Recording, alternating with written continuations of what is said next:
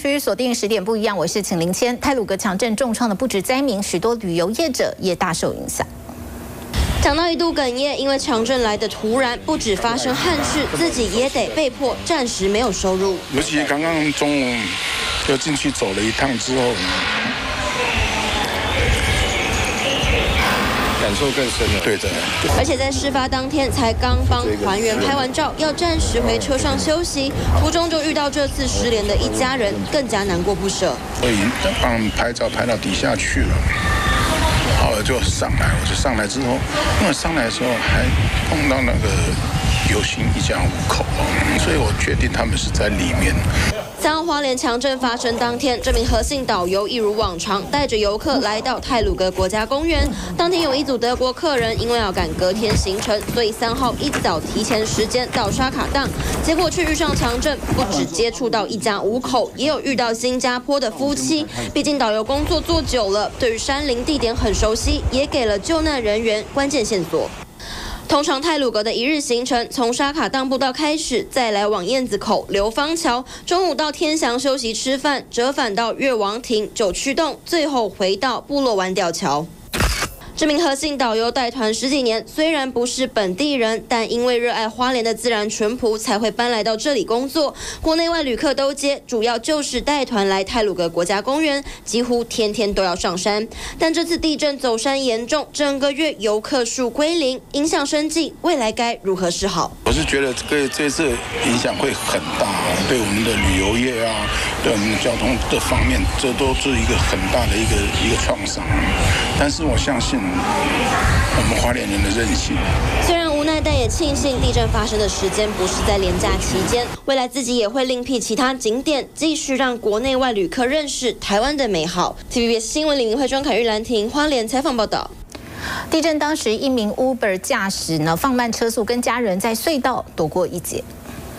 美丽的台八线一系变成世界末日。当时前方一辆机车、两辆汽车刚经过一百八十一 K 靠近宁安桥的路段，大量的土石就像海浪一样席卷而来。只是没有几秒钟的时间，前方的人车已经完全看不到。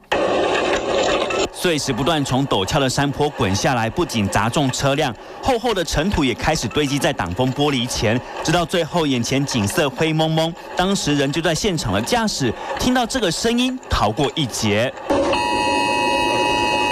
我分心就是要去关简讯，所以我车速慢下来，说我没有出隧道，然后马上石头就掉下来了。对象他们三个，我就看到他们三个被击中，对，可是大概两两三秒的时间呐，就看不到他们了，因为都烟雾了。等到没有余震，开 Uber 的司机张家硕才晓得和亲人逃过死劫。照片拍下的全是一辈子忘不了的回忆。自己的爱车也变成这样，想要掉头离开时，却看到石块挡路，只能在隧道里避难。听到有一个女生在叫，有点像，就是听了你就知道哦是受伤还是什么的。然后我就刚刚拿手电筒下去找她，回转完以后，另外一个伤者也出现了。男生的话就是他的左手有一些可能是小石头打到的。因为他的车被砸扁了，所以他的头有被车顶打到。原来三辆汽机车全部被落石击中，一名驾驶当场死亡，另外两个人全被张家硕解围。而受伤的女骑士就是三月村的女员工。事后送医躺在病床上的女员工命是捡回来了，但免不了伤口疼痛。九号也在手臂不肿胀了，顺利开刀。而这几天同事怕她难受，轮流到病床打气。经历这次生死，驾驶张家硕逐渐恢复平静，救人却不邀功，说谁遇到了都会这样做。T B 新闻正是为韩尚伦特别报道。遇到强震的高三生黄家安状况不是太好，现在医生还一度判定有机会可能会呈现脑死状态。腹部是不是？哦，好，你不要动。腿部多处骨折，救难人员快速固定伤口，忙着包扎。在泰鲁格精英酒店建教实习的高三生黄家安，强震发生时，他正好搭交通车去上班，却在九曲洞被落石砸中，双腿遭重压一夜后，抢救出来的时候还意识清醒，但送医后一度失去呼吸心跳。六号装上叶克膜抢救，八号出现肺栓塞，如今疑似呈现脑死状态。胸腔科医师苏一峰剖文指出。高三生被救出一两天后，心脏骤停，可能是出现腔室症候群。由于被巨石久压，缺血细胞坏死。当巨石移开后，腿部血中的血栓、细菌、钾离子等坏东西被带出来，才导致现在的情况。最佳处置方式应该先打点滴，大量灌水，再慢慢移开石头。但第一线医疗人员不足，现场情况紧急，才演变至此。目前弟弟的状况已经出不真的是不太理想，啊，医生就建议我们说先回家做讨论，这样他就决定让弟弟说，让这再再再有那个什么突发事故发生的话，就不用再动刀了，就让弟弟稳稳的走这样。黄家安疑似呈现脑死状态，家属透露会观察几天再做最后决定。TVB 新闻花振森、郭颖在花莲的采访报道。您现在收看的是 TVBS 再来看台八线抢通记者实际前往沙卡当步道，沿路上看到明隧道钢梁垂落，还有工程车被砸毁。由于重机具持续的挺进，预计十号能够抵达。前进沙卡当步道算台八线的这里已抢通，但一条钢梁就这样垂落悬挂在空中，采访车路过还得放慢速度，慢慢来，不急不急，慢慢来。就在开放后，记者才晓得这几天搜救人员他们经历了什么。一路上看到许多护栏都有缺口，还有两辆工程车停在现场，车体呈现 V 字形。过了不久，终于来到沙卡当步道的进出入口，可是却是这副模样。实际来到沙卡当的步道出入口，可以看到啊，这步道原本是有一些钢梁跟护栏挡住的，但是呢，地震当下落石全部把它们给砸烂了。现在这个地方也是搜救队员唯一的出入口。出入口因为被落石砸中，严重毁损。看看之前的模样，后续还得维修，否则游客很难进入。而沿途的步道本该避免滑落的护栏，东缺一块，西缺一块。河道上也有挖土机抢通时经过的痕迹。重机具的部分只能仰赖这个河道来做通行。可以看到，原本都是一大堆落石的重机具，都把它们开挖清出一条路，而且地上还留有重机具经过的痕迹。为了持续找寻新加坡籍的夫妻，还有游姓一家五口另外三个人的下落，搜救人员沿着陡峭的山坡缓慢移动，每一步如果不小心，底下都是万丈深渊，而且还会遇到土石崩落。就怕后面的人不晓得，救难人员吹哨子提醒。今天除了在步道零点八五 K 的位置找到新的手套，也带回八号发现的鞋子，提供给家属指认。而重机具也持续往前挺进五百公尺，预计十号就能抵达有家人失踪的地点，可以赶快让两名罹难者脱困。前进指挥所传来歌声，原来是新城国小的学生，他们自发性到这里送卡片和唱歌，帮救难人员打气。随着重机具的进驻，将带给救难人员更大力量，也正好呼应着这歌曲的名字：明天会更好。第一遍选综合报道。名住在花莲八年的美国人，在当地当导游。强震当天还好，他没有带团，幸运躲过劫难。而当地不少外国人也被强震吓坏。有地震专家甚至警告，花莲东部海域有一个琉球隐没带，一旦诱发地震，规模可能达到八以上。过去吗？小心哦，慢慢来，不急不急，慢慢来。TVBS 采访团队挺进强震后的花莲泰鲁阁，一切像是停格在四月三号的七点五十八分。被落石砸毁的工程车还没拖走，通往沙卡塔步道沿路都是碎石土堆。沙卡党路口处的白色铁栏杆被大量落石砸中，扭曲变形，标志牌掉落不见。大家熟悉的步道围栏柔肠寸断，过去最令观光客惊艳的鬼斧神工美景不在。As for trails, the Shakadong Trail is one of the most popular. It was built for crews working on a hydroelectric power plant back in the 40s. Today, the trail is good for children and seniors since the walkway is mostly flat and shaded. 昔日的青山绿水，招牌的白色石狮步道，如今却是断裂破碎。游客络绎不绝的泰鲁阁，现在宛如与世隔绝，观光产业瞬间暂停。本来觉得我就花莲这么多年是会习惯，但是这个真的太严重，呃，真的呃吓到，很可惜，没错，珍惜还是要大家这么说是开中很有在花莲住了八年的美国人艾达回忆起这一次强震，刚好在家没带团，结果家里水塔全倒，至今还在收拾残局。乱七八糟，玻璃一堆。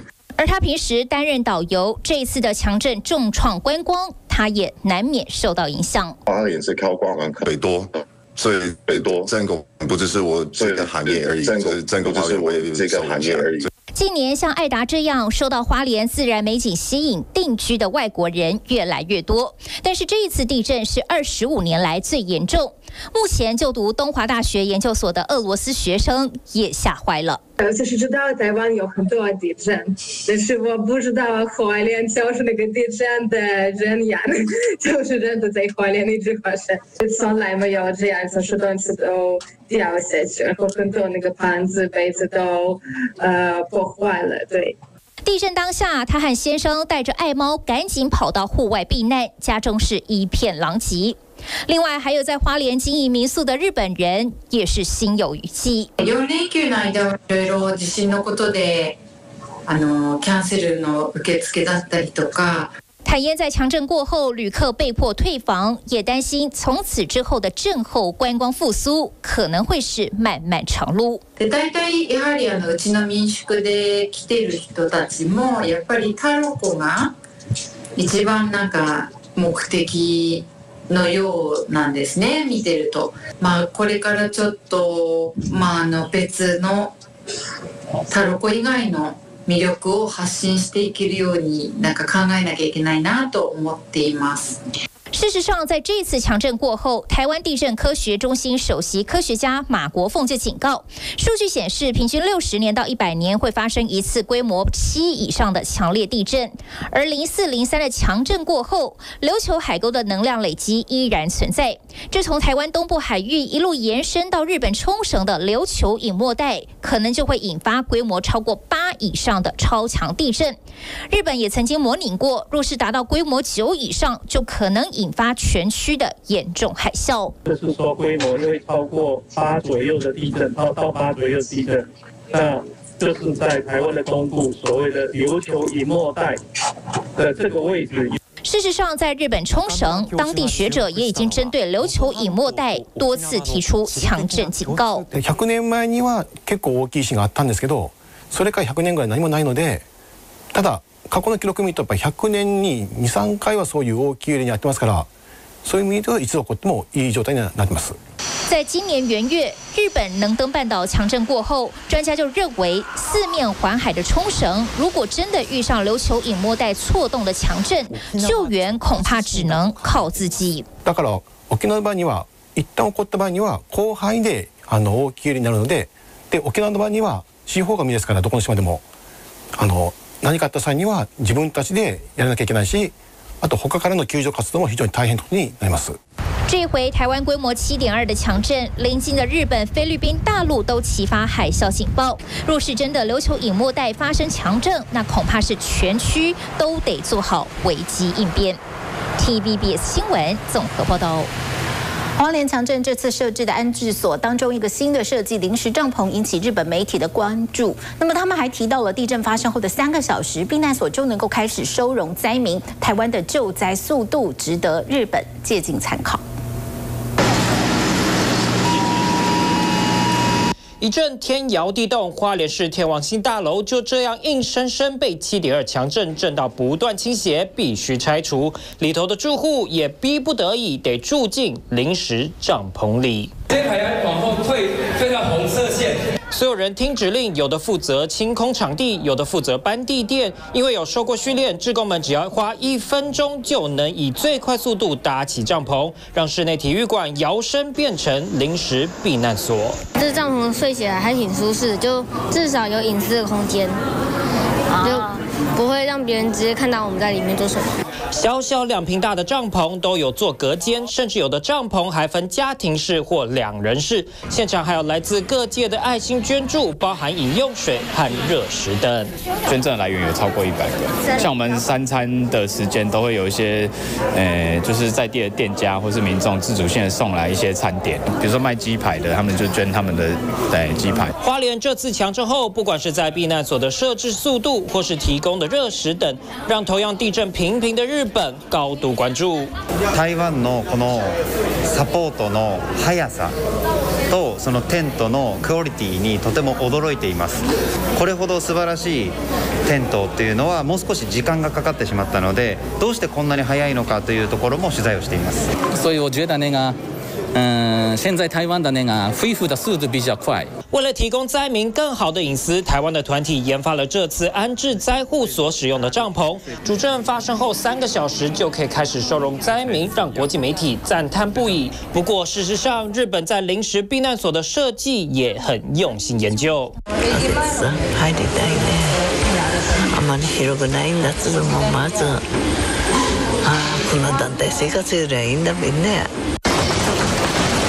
二零一一年三月十一号这天，日本发生规模九点零东日本大地震，造成严重破坏。避难所的灾民只能睡在瓦楞纸板上，相当不舒适。有日本建商体恤受灾户的需求，搭建这种木质临时住所。南城で私も行きましたけどね、本当に足をね長くして寝られない寝たいっていうね気持ちはね伝わってきましただから。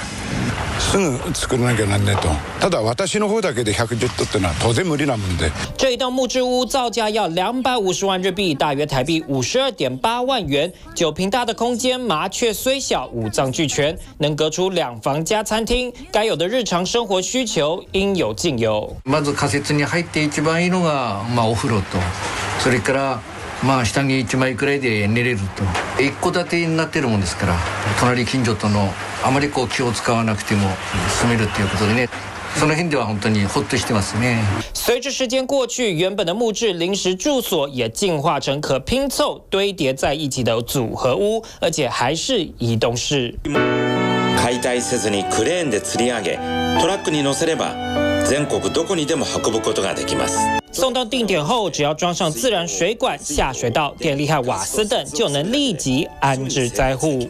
入ってみて一番特徴的なのは、外見ではこう四角い箱なんで、一見こうコンテナに間違われがちなんですけれども、このように木の構造をふんだんに使って移動式木造住宅と言ってますので、全て木造でできてて、さらにこう木の香りがするのが一番の特徴ですね。除了建商，还有一名来自名古屋市的大学 教授研发出一种只要四小时就能搭建完成的即时住宅。大きく気球のように膜を膨らませておいて、で内側にそのまま入ってですね、えー、内側から、えー、断熱材をこの場合は吹きつけて固めていく。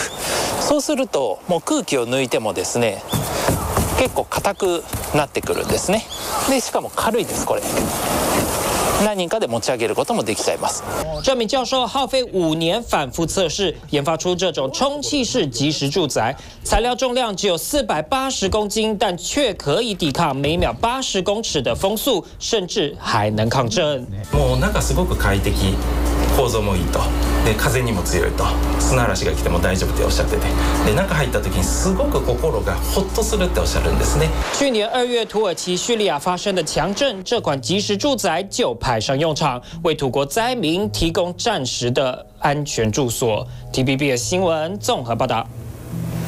再来看 AI 崛起，台湾受惠，台积电市值占台股超过百分之三十，更等于台湾一年的 GDP。不过，Google 台湾前董事总经理简立峰提出了隐忧，他认为会让台湾列为世界最危险国家的原因，不是两岸关系，而是因为高度集中在单一产业跟公司。大家提到台积电，当然都很高兴，但是产业过度集中，也要思考危机的可能性。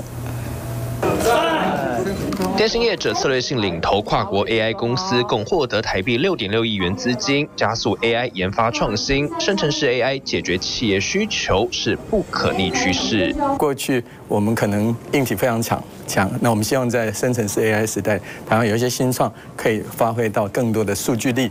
全球发展 AI 过程中，台湾高科技产业扮演举足轻重角色，也是世界首波受惠于 AI 的国家。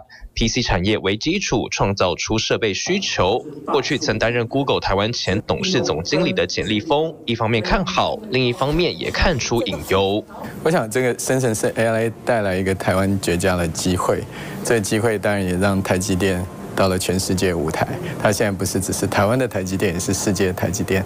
但是因为台积电成长非常非常快速，它已经占我们相它的市值相等我们的 GDP 了啊，所以我们也要思考说，在台积电之外，台湾有什么样的一个新兴产业，可以在这样一个半导体优势之下啊，让台湾长期来讲降低风险。他认为台积电市值占台股市超过百分之三十，更等于台湾一年 GDP，这让台湾被列为世界最危险国家的危险因素。因为高度集中在单一产业与公司。无论如何，任何一个国家，当它单一的公司、单一的产业占它 G B G D P 跟股市那么重要、那么大的比例，它本身就是个风险。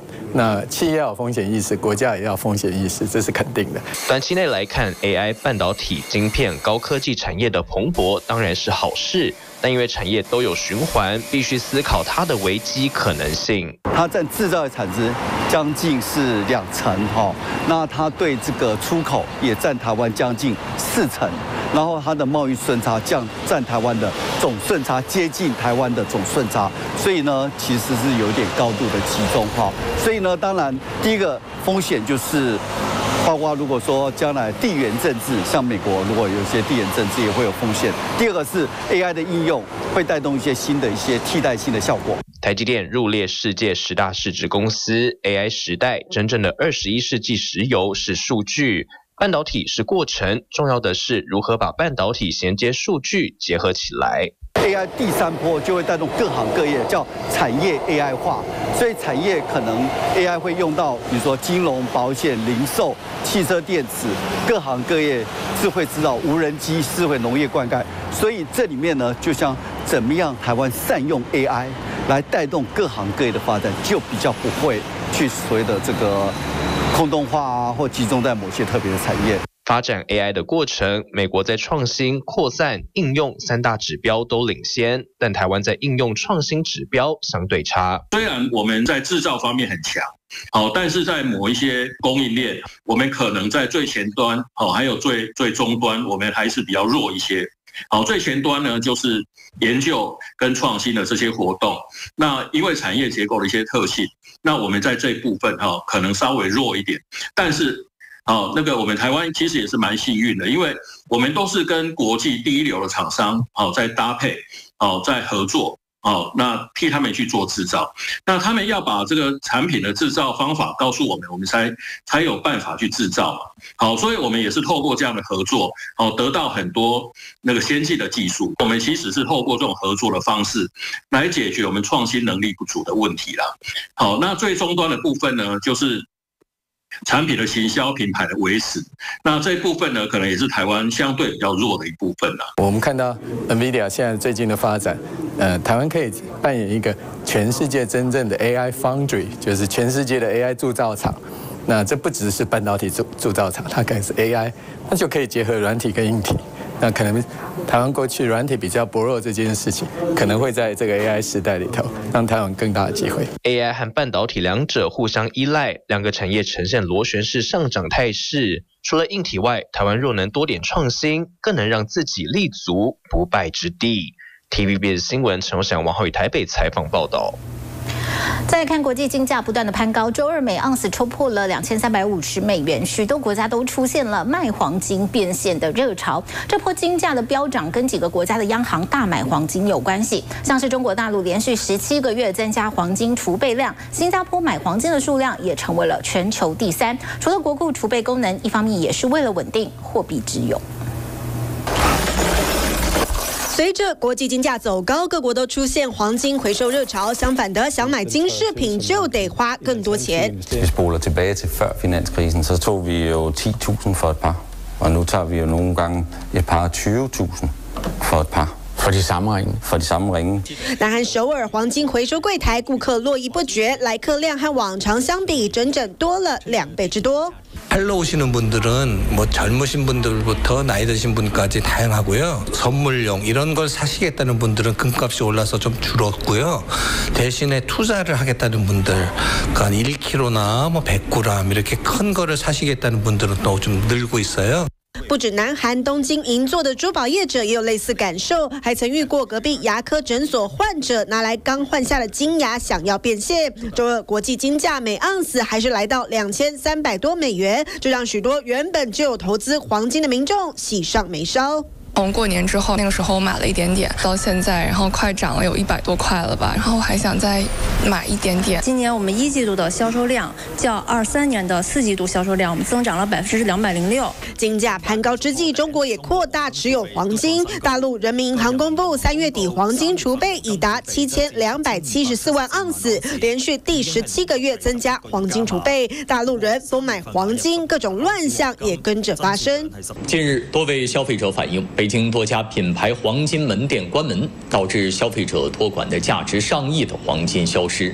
有多间打着帮投资者托管黄金的业者恶性倒闭，涉案的店家大门深锁，民众完全无法提领黄金。那金店呢？要么把金借出去收不回来了，要么呢他加杠杆融资，资金链断了，又或者说他压根儿就没有那么多金，这个交易本身可能就是虚构的。研判又是一起典型的庞氏骗局。除此之外，香港也破获一件最大规模的黄金走私案，有不法分子企图将一百五十公斤的黄金走私到日本。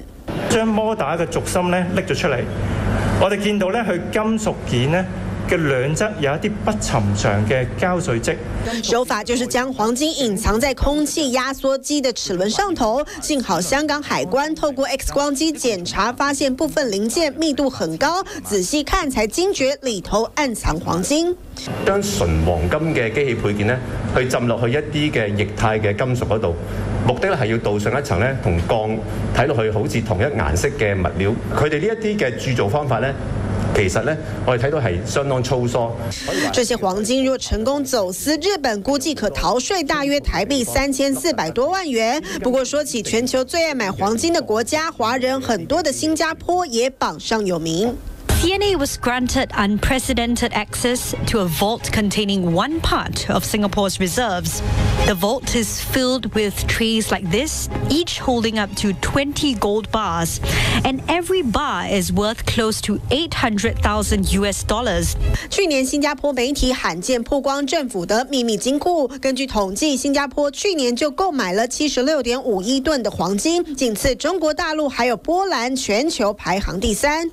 There are two reasons as to why government buy gold in large quantities. First and foremost is, is to ensure a stable domestic currency. And the second reason is to actually buffer, you know, uh, think of it as savings to actually allow uh, for a reserves to mitigate external shocks in the future. 就近期金价涨势来看，新加坡的黄金储备价值肯定更高。过去新加坡总理李显龙就自豪，国家储备净投资的回报贡献 NIRC 已成为政府的重要收入来源之一，相当 GDP 的百分之三点五。It's a lot of money. Now, if you look at it from the revenue side, three and a half percent is about the same as corporate income tax revenues. Is 1.4 times personal income tax revenues.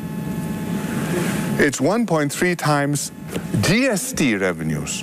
这几年全球地缘政治冲突使得避险性投资需求上升，进一步推高金价。不过民众还是要慎防近期金价有过热的现象，投资前还是要多注意短期可能上演的反转风险。别新闻综合报道。单月涨。这是今天十点不一样精选。先来看，在疫情影响之下，二零二一年制造业景气好，当年的制造业加班工时十五到十六小时。二零二二年下半年全球景气趋缓，加班工时才下降。不过从去年七月到现在，制造业加班工时已经连续七个月正成长。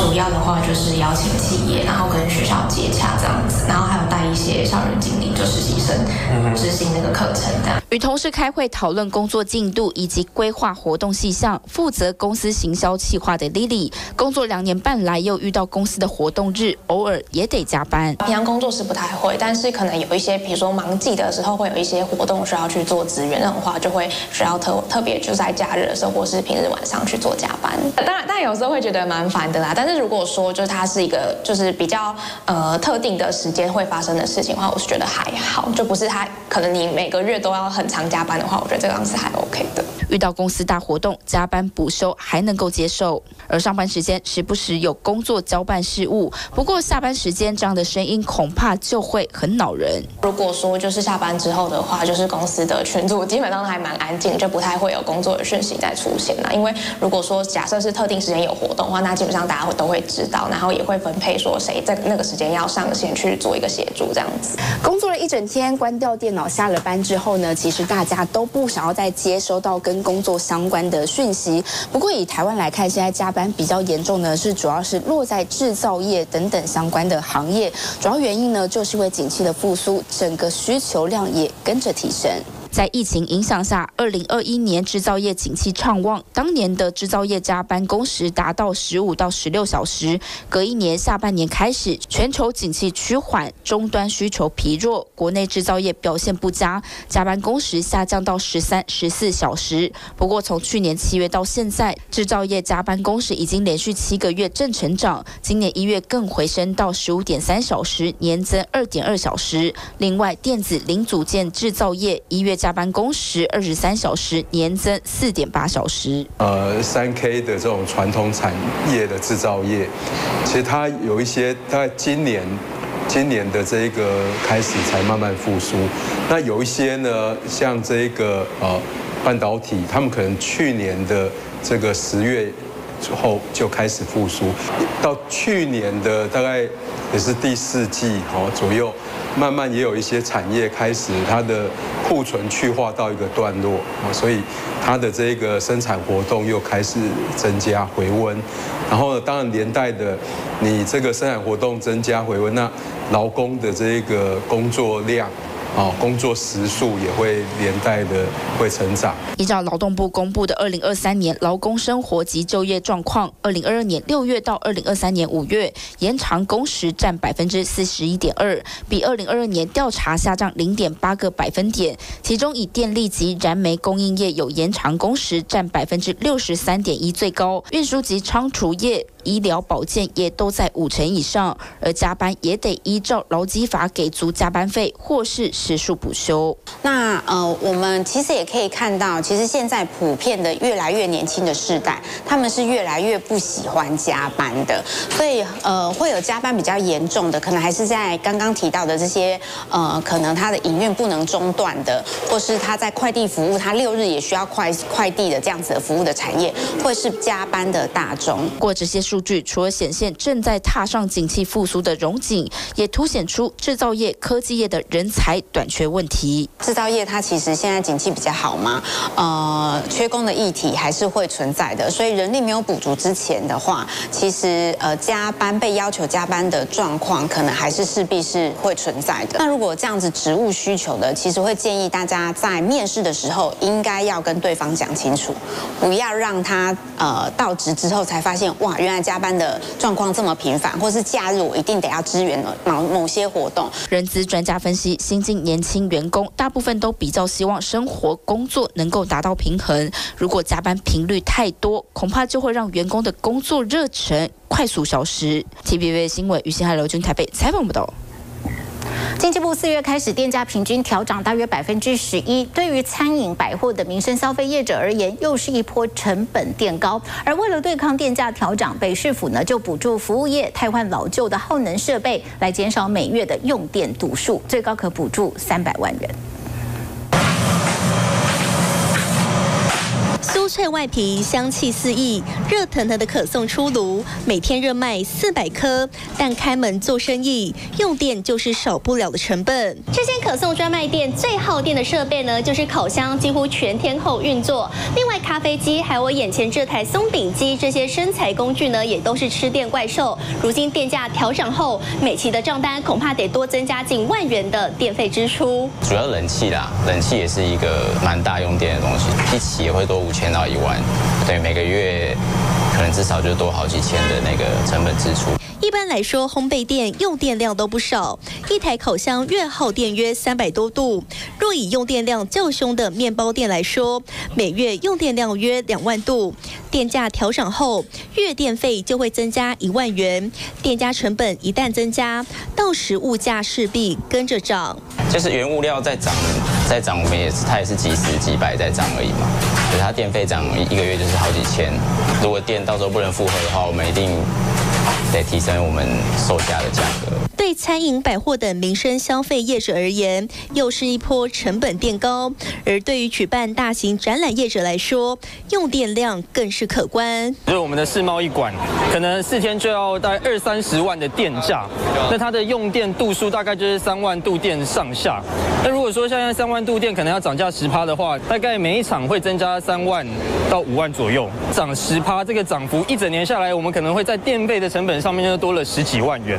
为了对抗电价调涨，台北市府就补助服务业汰换老旧耗能设备，减少每月用电度数，最高可补助三百万元。用冷凝的机组，然后可以做一个节能的补助。然后在这个地方呢，我们是用变频式的冷凝机组，然后还有数位电表。所以这个数位电表就是可以节多少的度数，或者说这个这台机组的所有的资讯，就从这个电表就可以得到那个资讯。那么市场的熟食摊就设置变频冷凝机组，节电率达八成，预估每年可减少三点九万度电，约十四万元的电费。我们自从换了这个变频式冷凝机组的冷冻库，就是每个月可以帮我们减少好几千块的电费。以如果是跟以前比起来的话，它要三万多元，就单一台的冰箱，哎，要三万多块。现在是两万出头而已，它的造价会稍微高大概四五层。呃，所以他是会从每个月会把它再再补回来这样子。我是觉得这样子算起来是整整个下来是可以省到很多电，而且又可以节能减碳。经济部这次电价平均调涨约百分之十一，每度电价提高至三点四五一八元。台湾已经连三年调涨电价，但截至去年底，台电累计亏损仍高达近四千亿元。这次电价调涨增加六百多亿收入，预计全年亏损会缩小至一百亿元。不过累计亏损仍会高达三千九百二十十亿。专家指出，涨电价只能解决短期破产，根本问题是能源政策需要改变。你用这个比较高的燃气，还有比较高的再生能源来替代，当然你的支出就增加了，但是你的收益除了提高电价以外，就是不够嘛。没有办法反映，就是说没有办法 cover 你的成本，所以它才有亏损。而这个情况呢，会继续下去，因为今年马上核三的六月啊，一号机也除役了，有更多的比较贵的电来替代它。明年呢，核三的二号机也下来，哦，这个成本呢就会还继续加上去。除非能源政策改变，不然的话，继续。还要再涨电价，电价涨声不断，遇上夏季电费又会更高，通膨的预期心理已然浮现，恐让物价再创新高。TVBS 新闻黄冠伟、罗世鹏、刘彦轩台北采访报道。台股站上两万点，写下历史新页。不止 AI 类股涨，民众也疯抢 ETF。台湾市场 ETF 的规模从二零二零年底的一点七兆，已经翻倍增加到二零二三年底的三点八兆，其中高股息的 ETF 就占了一点一兆。那像我自己本身的话，我指数型的 ETF 我都是关注这四档。最近比较热门，大家会去讨论的议题就是美债的相关的事情，也开始会有一些针对于这债券型的 ETF 开始做这个推陈出新。一早盯盘选好投资标的，也会在盘后做分析。Justin 长期投资台股有自己一套规划，对于现在最夯的 ETF 也有涉略，不过大多是做长期持有的配置。像零零五零哦，它就是完全。追踪台湾的大盘指数这种标的，我就会去买进。那另外一种，我就会可能买它是比较能够做稳定现金配息的，例如说零零五六哦、零零八七八哦或零零七三这些这种比较老牌的 ETF。那对我来说，它是一个可以稳定做计配的。哦，一个现金流产生的一个工具。在 AI 拉抬之下，台积电、联电、伟创等等相关供应链都有不错成长。再加上大型全指股挹注下，台股加权指数在三月八号冲破两万，为台湾股市写下历史一页。除了几档个股受关注，指数型股票基金 ETF 也是炙手可热。台湾市场 ETF 的规模从二零二零年的一点七兆，到了二零二三年底是增加到了。三点八兆，而其中高股息就占了一点一兆。不过呢，接下来四月还有一档高股息即将募资挂牌，预估整个 ETF 的规模还会继续成长。台股 ETF 资金规模、受益人数近两年来急速增加，主要是因为 ETF 低交易门槛、低研究成本，而且能便宜买进一大篮股票，特性吸引懒人投资的第一步。从过去零零五零、零零五六等等高股息挂牌后，掀起一波热潮。今年三月更有两只热门 ETF 未上市先轰动，元大台湾价值高息 ETF 四月一号正式挂牌，成交量爆破二十万张。不股价却跌破发行价，让申购者面临破发窘境。看到很多自救会的那些网民里面，他就拿去借钱，然后来投资 ETF，因为他认为说有这样的一个一个价差嘛，因为你保证八趴，他他觉得他是保证八趴，然后你就去借一个一趴或者两趴的利息，然后你来做投资，就殊不知一挂牌破发，投资人可能会搞错方向。IPO 十块钱，它对标是两万点的指数，所以它还是高，还是高。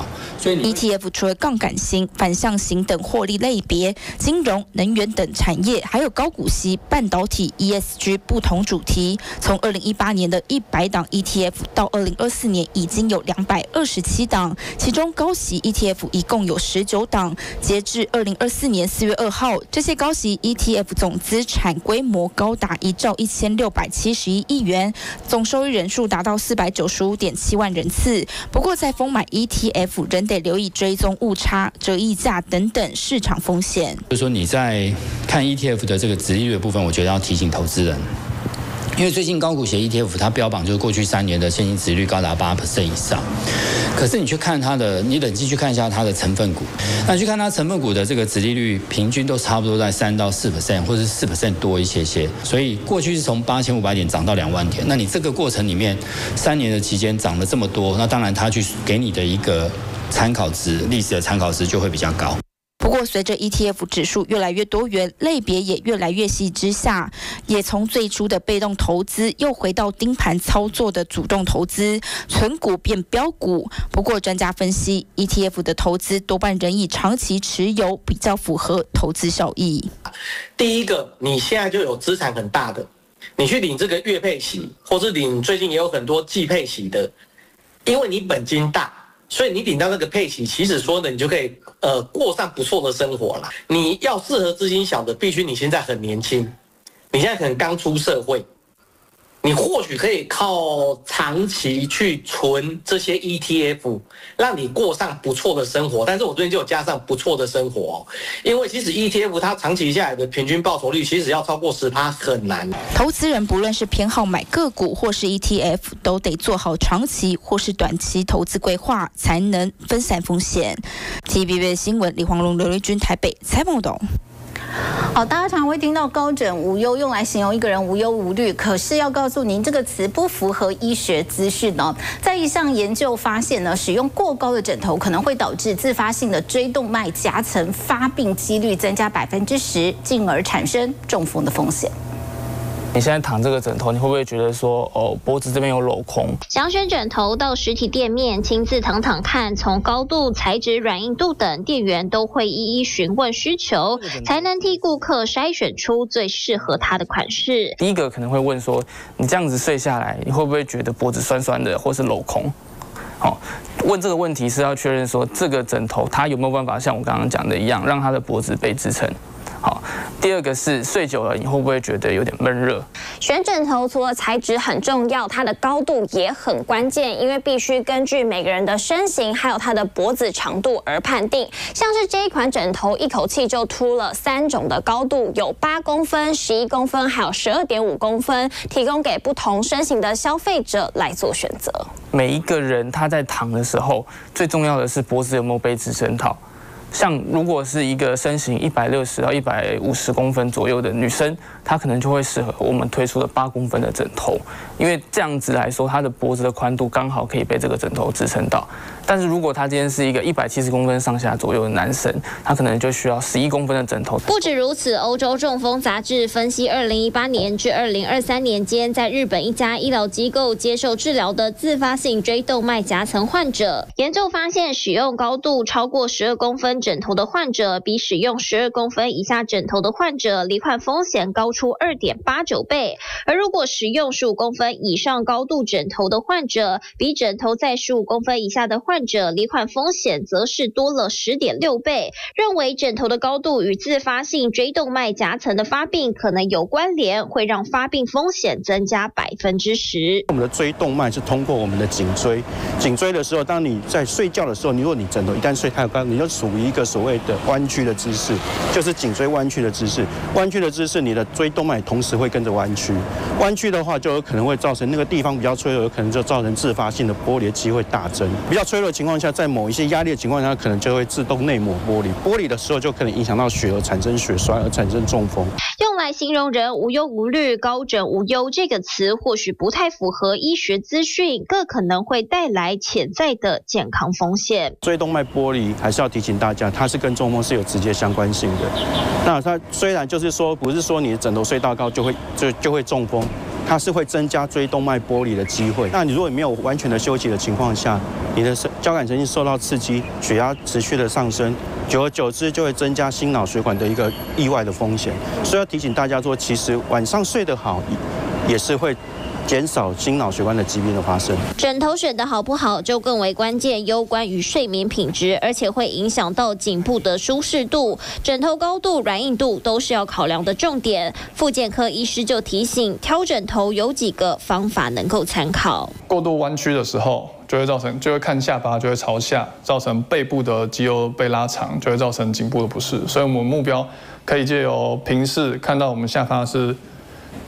平呃，跟地面是成平行的。枕头高度要以支撑颈部的自然曲线为依据。一般来说，仰卧时枕头的高度应与肩同高，也不要挑选过软或过硬的枕头，要增加头部的接触面积，减少颈部的肌肉张力。过低的话，颈呃颈椎就会过颈椎就会过度伸直，就会造成背部的关节压力增加跟肌肉张力增加。啊，如果说过高。那脖子就会弯下来，就会造成背部的肌肉被拉扯，就容易造成早上的肩颈酸痛或是落枕。每个人睡姿不尽相同，但千万别小看这个每天睡觉都会用到的枕头，小小一颗可是藏着大学问。台北新闻连志周宣台北报道。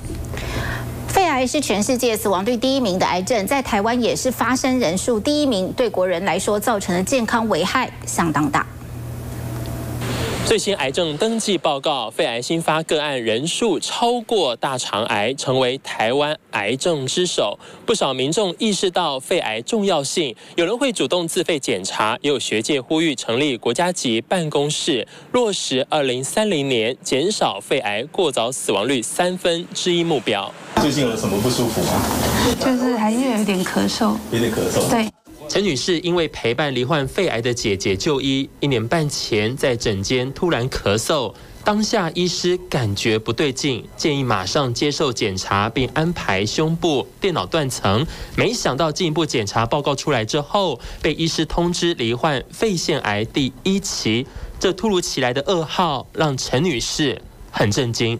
其实我没有什么症状，然后主任发现我们是家族性的，所以他建议我要马上照低剂量。陈女士她有这个肺癌的家族病史，她的呃哥哥姐姐还有妹妹跟爸爸都是啊晚期的肺腺癌，我们就知道这个呃肺癌的话，如果是在这个呃一等亲里面好有这个有人罹患肺癌，好那本身啊得到肺癌的机会好也是会比一般人高，好所以像这种有肺癌啊这个高风险因。因子的的民众啊，好建议就要做这个呃电脑断层的那个肺癌筛检，好以及那个早期诊断出肺癌。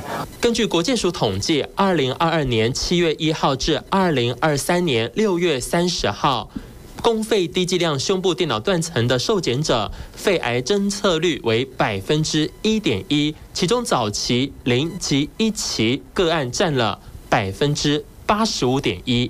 肺癌低剂量电脑断层诊断出来病人，大部分是以早期为主啦，所以这个的确是我们的是发现说肺癌病人越来越多，但是我想不是整个有没有说一定是呃环境的问题哈，或是那个抽烟的问题，而是我们大家对这个病越来越警觉，去做检查的人越来越多，你就要自然就会发现这个比较早期的这个问题，肺里面正常的细胞产生的异变。那成因就是是呃，主要是这样。那基本上还有很多地方我们还不清楚。那最常见造成这些异变的原因呢，大概就是呃，像抽烟、好，或者是家族史，好，目前这个是证据比较确实的。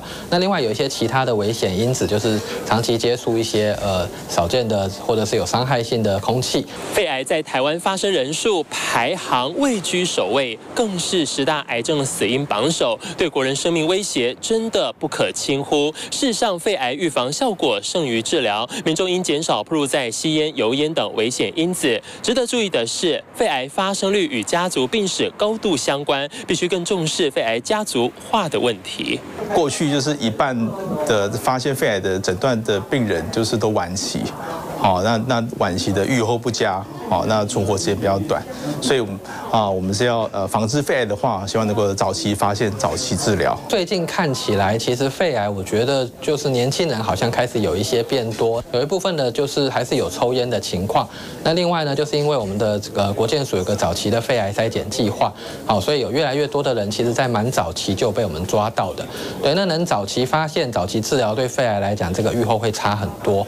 肺癌危险因子包括吸烟、二手烟、油烟、空气污染、职业暴露、辐射线、肺部慢性疾病、遗传等。有抽烟习惯或家族有肺癌病史的民众，每年应定期肺癌筛检。这十几年来是啊，说癌症里面死亡率的第一名，对国人的这个健康危害危害很大啊。早期发现那个呃肿瘤，好在它转移出去，好变成晚期之前，好加以治疗。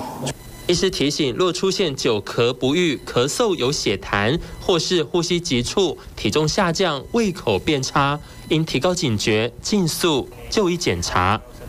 TVBS 新闻张志安、陈如环、蒋志伟台北采访报道。他那样说吗？我觉得我们真的很有缘。你不觉得这一块钱浪漫吗？我的生存原则